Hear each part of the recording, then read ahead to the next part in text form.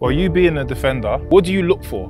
Like, what's the main thing? You had the option of playing with Iniesta, Xavi, and even played with Paul Scholes. Did you look for them or did you feel like, I want to come out and, and play? Say, for example, Xavi's calling for the ball.